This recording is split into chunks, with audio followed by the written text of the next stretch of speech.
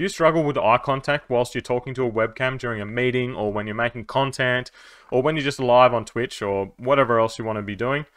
Well, today I'm going to do a full download and install of the Gaze Redirect AI eye facial recognition. It will keep your eyes on the webcam at all times. As you can see, my eyes have not left the webcam the whole time.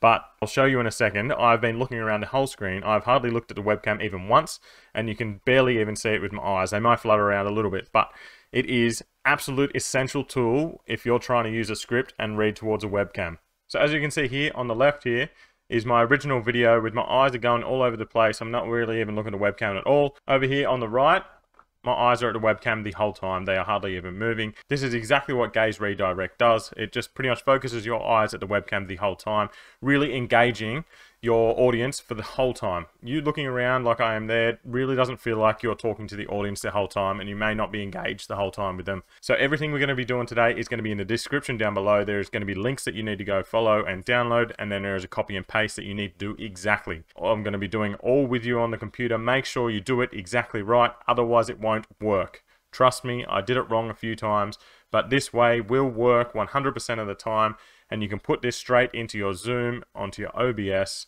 So it's a really, really awesome tool that can be used in many, many different ways, but let's get into how we do it. So what we have here is the exact written thing that is in the description down below.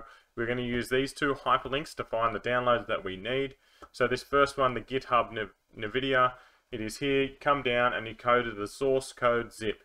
Click on that download the zip. So once you've downloaded it, it will pop up like this. It'll You go and extract everything. You need everything from this folder. Extract all. Once you've extracted it all, it'll come up as a download exactly like this.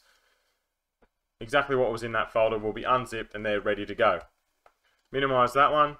Once you have downloaded and unzipped the other file, come to the other hyperlink, click on that, and it will take you to the NVIDIA NGC catalog. Here you are going to have to sign in. You may need to make an account if you don't already have one. It's pretty simple. Just follow the prompts, sign in, and then we'll get to the next stage. So if you already had an account and you logged in, you should be taken straight to this page and bada bing, bada boom, easy. If you needed to make an account, I'd go ahead, make an account. It's pretty straightforward. It's very easy. And then go back and click the hyperlink again so then you can sign in and come straight to this page so you don't have to go searching for this. So once you're on this page, this is the zip file you need to download. It is 1.7 gig, so it will take a little bit of time to download. And then again, you just extract all and then find that folder again. So once we have unzipped it and then it's in its own folder, this is what it's going to look like. And the only thing that we need from this whole download is this bin folder. We are going to take this bin folder and we are going to drag and drop it into the other folder that we have, the one that says readme.md. So if you have the main one, you open it once, this is where you're going to drag and drop it to. So we're going to take this bin folder and drag it straight into here. So going through our checkpoints here, we have downloaded the original file, we extracted that zip file, then we have downloaded the next file, we have extracted everything, we have drag and dropped the bin folder to the main folder of the first download. It has a file named readme.md. We'll just check that. readme.md, right there. I know it might be a bit hard to see, but that file is in there. Make sure you put the bin folder in there. This is the only way it will work. So next up is to find the gaze redirect. It is located on slash samples slash gaze redirect. So as it says there, we're going to go samples, gaze redirect, and then we're onto this page. It should look exactly like this for you. This run may be called run.bat, but that's what we want. If you have it as run, like I do, make sure you go in and just change that to run.bat. So when we're at this stage, we're going to click on the run.bat. We're going to go copy, paste, and put it exactly back into where it was. And we're just going to change that from copy to original, so you still have the original there, because this is what we are going to copy and paste. So if we click on it again and go edit, it will bring up this notepad. We are going to delete everything that we have there. Head back over to the YouTube description and this right here, you need to copy it exactly how it is.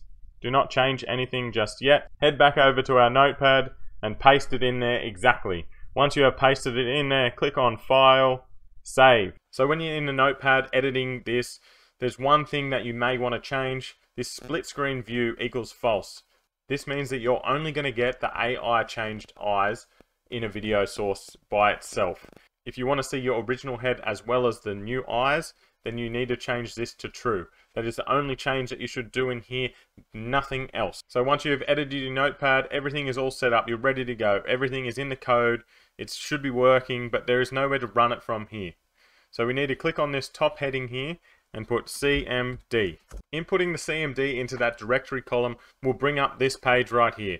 It is a command prompt and it's how you start applications on your computer, but all you need to do is put in run dot bat enter and it will start running the program. Just wait a little second. I've, when I first done it, I was like, oh, what have I done wrong? It's not opening.